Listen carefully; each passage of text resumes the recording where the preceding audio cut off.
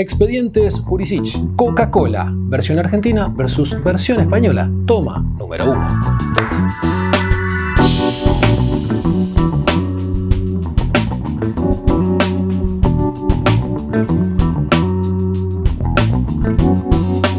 Hemos vuelto a calzarnos el guardapolvo, el overall, para analizar dos productos que en apariencia son iguales. ¿Deberían ser iguales? Eso todavía no lo podemos responder. Lo que sí te podemos decir que gracias a Jaume Reynoso tenemos la posibilidad de contar con esta Coca-Cola de vidrio de tan solo 200 centímetros cúbicos, esas versiones que se venden en el mercado europeo pensadas directamente como mixer, es decir, la abrís y directamente va a un trago barra cóctel. La versión argentina es apenas un poquito más grande, tiene 237 centímetros cúbicos, pero elegimos enfrentarlas en este sentido, primero porque de esta manera tenemos en los dos casos vidrios de similares características y similares contenidos, con lo cual debería haber, en la teoría, una cantidad de gas en sus versiones relativamente parecida. En cuestiones de insumos, los dos declaran prácticamente lo mismo. En el caso de la versión española dice ingredientes, agua carbonatada, azúcar, colorante, acidulante, ácido fosfórico, aromas naturales y aroma cafeína. En el caso de la Argentina dice ingredientes, agua carbonatada, azúcares, colorante 150, aromatizante, acidulante 338, contiene cafeína. Estaríamos en presencia de prácticamente dos productos iguales. Vamos a ver si la mega empresa que la fabrica tiene dos sabores distintos para Argentina y para España. Buscamos nuestras copas de cata y vamos al proceso de apertura de las dos. Bueno, en la Argentina se generó un poquitito más de humito, por así decirlo, mientras que en la española algo menos. Vamos con las dos al mismo tiempo. Apenas un toque, porque las queremos reservar para otra análisis. Bien, en cuestiones de espuma, da la impresión que la versión española se mantuvo un poquito más y en ambas copas, que las dos están faginadas de la misma manera, las burbujas, en el caso de la Argentina, como que se murieron un poquito más rápido, mientras que en la versión española se mantuvieron. En cuestiones de color, les diría que está un toquecito más amarronado la versión española, mientras que la argentina un poco más de color rojizo. ¿Los nota de esa manera, productora detrás de cámara? Buena percepción. Bueno, Vamos a ver en aroma.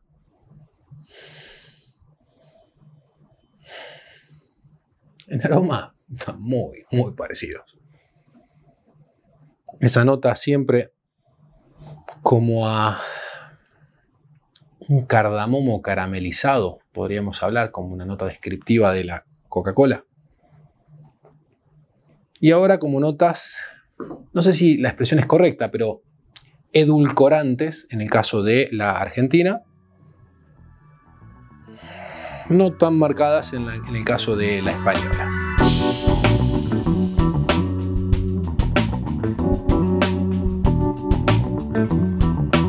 Vamos a probar la versión argentina.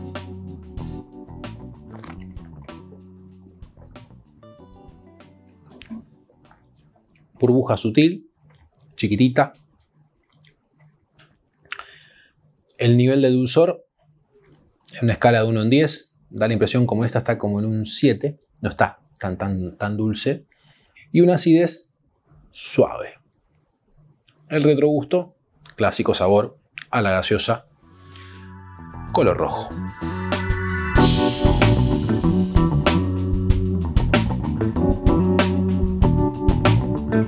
Nos vamos a la española.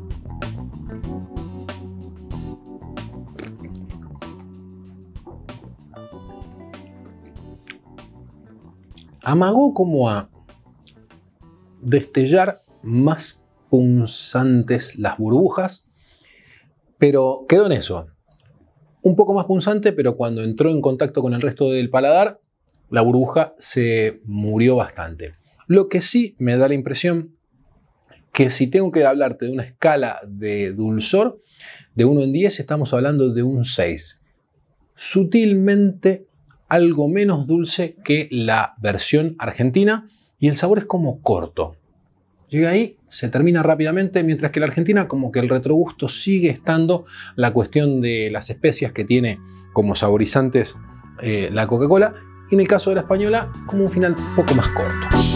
Para, para, para, ¿a dónde vas? También las vamos a mezclar con una bebida para ver si son bastante parecidas. Si este video lo hubiéramos grabado en España, deberíamos hacer una cubata con rom. Pero como lo grabamos en Argentina, vamos a probar Fernando Fernet Branca en esta versión con las dos gaseosas. Eso sí, dato a tener en cuenta, el Fernet es la versión argentina, no la italiana.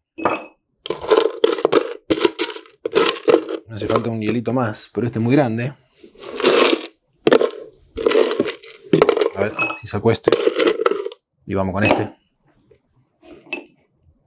Ahí vamos a andar.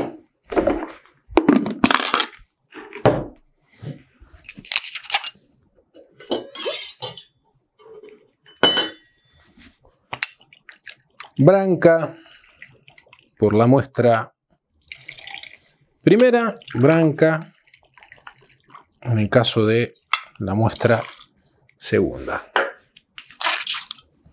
Y vamos. Mismas cantidades en ambos vasos. Coca-Cola Argentina.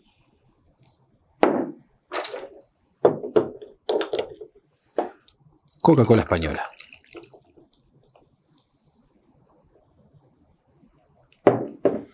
Bueno.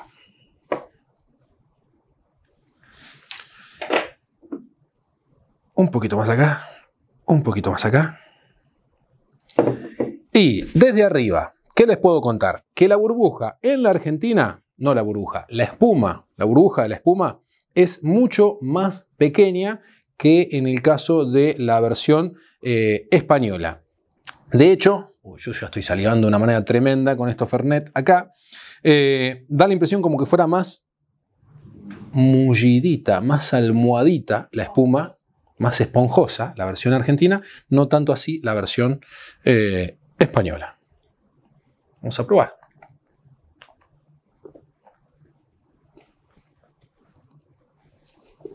Bien, en este caso, la versión argentina da la impresión de darle mucho más paso al Fernet. De hecho, lo probé. Si bien estamos hablando que es un Fernet bastante más potente, no hicimos una versión light, la hicimos pulenta. Y la productora me dice, las hierbas se sienten bastante marcado y sí, tal vez el equilibrio del dulce con el amargo del Fernet se llevan de primera. Bien, jugamos paladar y nos vamos a el segundo Fernuco en este caso con la versión española.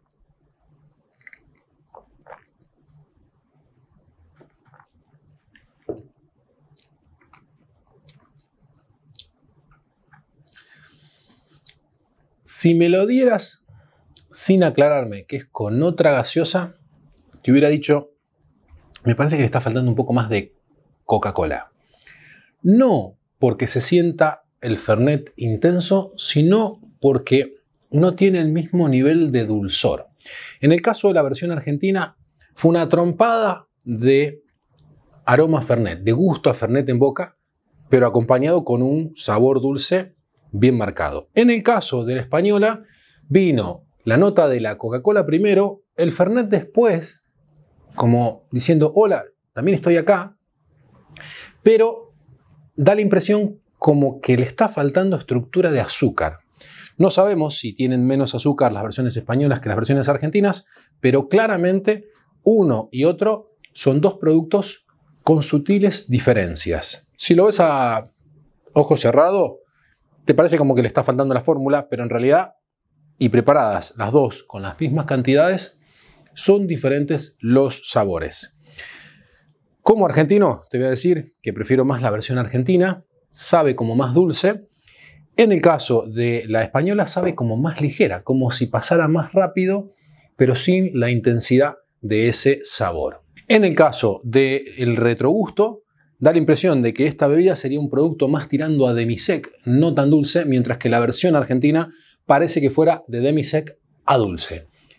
Pequeñas sutilezas, pero que claramente no es lo mismo.